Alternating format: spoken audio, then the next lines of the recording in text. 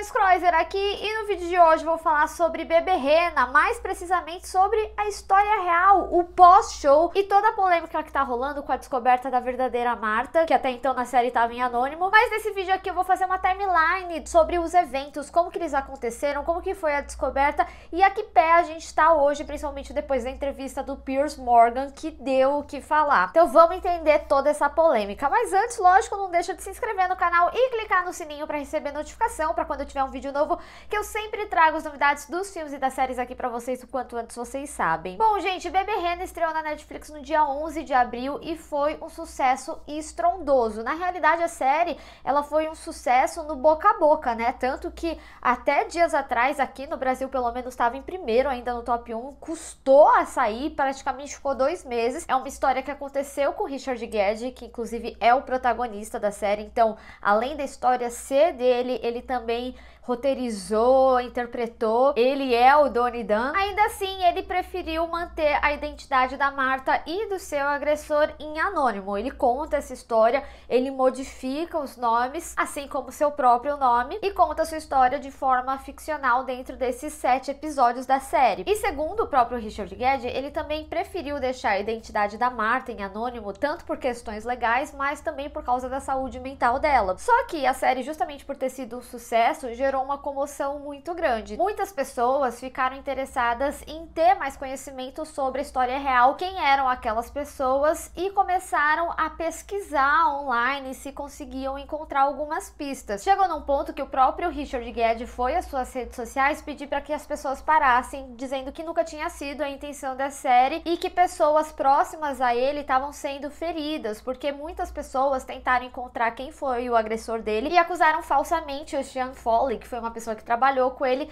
de ser esse suposto agressor. Só que conforme a série foi se tornando esse sucesso, o Richard Gere, ele deu algumas entrevistas e em uma delas ele tinha revelado o fatídico número de quantas mensagens a Marta tinha mandado durante esse período que ele foi stalkeado. Ele revelou na entrevista que ela mandou 41.071 e-mails, 350 horas de mensagem de voz, 744 tweets, 46 mensagens no Facebook e 106 páginas de cartas. E por conta disso, os detetives da internet foram atrás do rastro online, no caso, os tweets. E aí encontraram alguns tweets entre 2014 e 2015 e tinha alguns tweets que era idêntico à escrita da Marta. E outro tweet era ela falando sobre uma carta que ela tinha mandado e outro perguntando se ele tinha recebido o e-mail dela, se tinha sido no e-mail certo. E aí encontraram o Facebook e encontraram várias postagens, inclusive do pub. No tweet, ela também tinha mencionado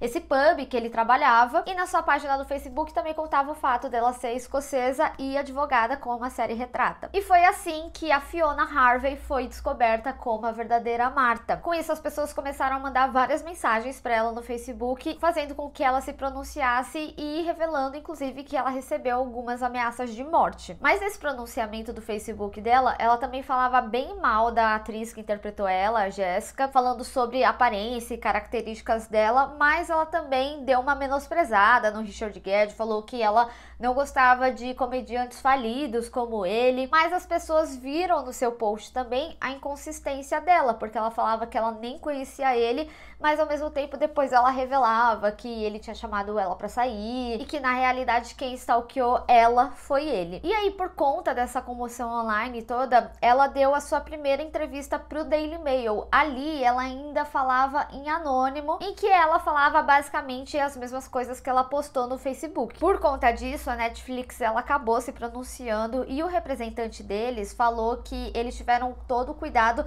para que a identidade dessas pessoas não fosse revelada. Inclusive, no próprio programa do Piers Morgan, quando ele entrevistou a Marta, ele chegou a revelar lá que a Netflix ela teve uma consultoria com uma associação de stalking, até para ter cuidado de como abordaria essa história e que eles teriam mudado a aparência de alguns desses personagens para que não fosse tão perceptível, assim como o nome. Inclusive, a Fiona Harvey, ela disse que vai processar a Netflix e o Richard Gere porque essa história ela tem várias inconsistências. E aí leva a gente para a entrevista do Piers Morgan, que foi a primeira entrevista que ela de fato apareceu e segundo ela mesma, né, ela concedeu essa entrevista porque ele é uma pessoa respeitosa, um jornalista sério e que iria deixar ela contar o lado dele, até porque ela mesma revela que ela precisou sair do anonimato justamente porque as pessoas estavam ameaçando ela de morte. Então ela queria contar a versão do lado dela da história. E foi interessante porque durante o programa, que tem um pouco mais de uma hora, tem um certo momento que ele fica perguntando para ela o que, que é ficção, o que, que é realidade.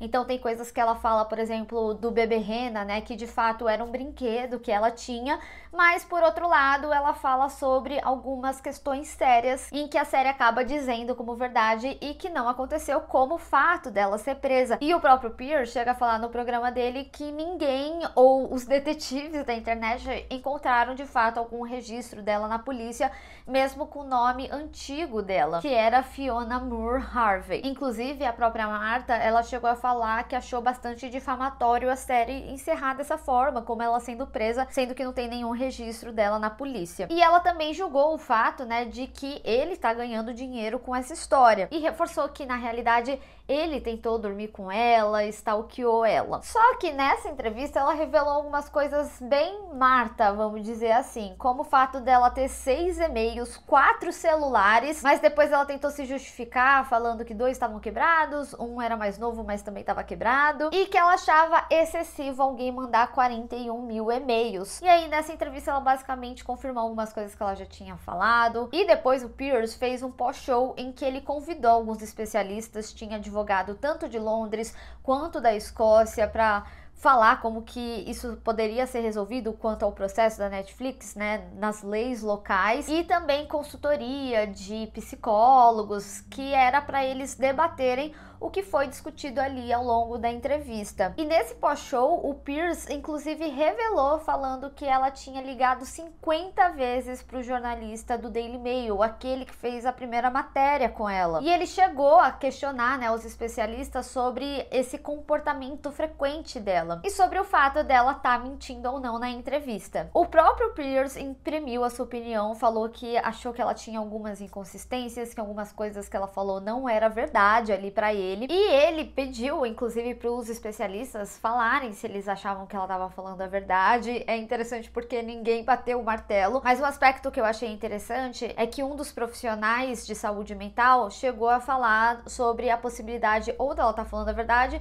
ou mentira ou dela ter anosognosia, que é basicamente quando a pessoa ela tem uma perda da consciência e uma negação da própria doença, que normalmente é um sintoma ou uma consequência de uma doença neurológica que pode ser comum em fase inicial ou estágio grave do Alzheimer, esquizofrenia ou demência. E depois dessa entrevista com Pierce, veio a público a Laura Ray, que afirma ter sido uma das vítimas da Fiona Harvey em 1997. Inclusive, eu não sei se vocês se recordam, mas na série, quando o Danny Dunn ele chega a pesquisar sobre a Marta, ele chega a encontrar algumas matérias e tem outros casos de stalking e esse era um deles. A Laura era esposa do MP Jimmy Ray e a Laura tinha contratado a Fiona, só que ela foi logo demitida Segundo ela, na entrevista do Pierce, ela fala que ela não foi demitida e que na realidade ela era tão boa que queriam ela para um cargo importante e teria conflito de interesse ali com o MP. Mas o fato é que nessa entrevista a Laura disse que fazia muitos anos que ela não via a cara da Fiona,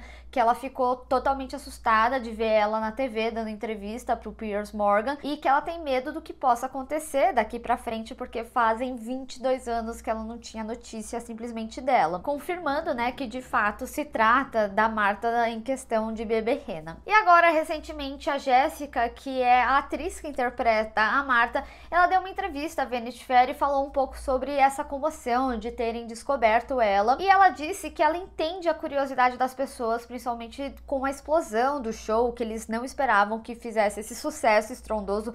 Lógico que eles torciam para que as pessoas vissem, mas não imaginava que tomasse essas proporções. Mas ela reforçou falando que essa essa nunca foi a intenção da série. Pelo menos até o momento que esse vídeo está sendo gravado, nem a Netflix nem o Richard Guedes se pronunciaram sobre as falas da Marta. Não sei se teremos novos desdobramentos, se vai dar em algo, mas o fato é que essa história rendeu mais do que a gente imaginava. Mas deixa aqui nos comentários, vocês acompanharam tudo isso? Sabia que a Marta tinha sido descoberta pelos detetives da internet? Vocês acham que eles deviam ter mudado mais algumas características dela? O que, que você achou da série? Vamos discutir. Bem, pessoal, espero que vocês tenham gostado desse vídeo. Não esquece de deixar o seu gostei e compartilhar nas redes sociais, inclusive me segue lá se inscreve no canal e clica no sininho para receber notificação para quando tiver um vídeo novo. Te vejo no próximo. Tchau!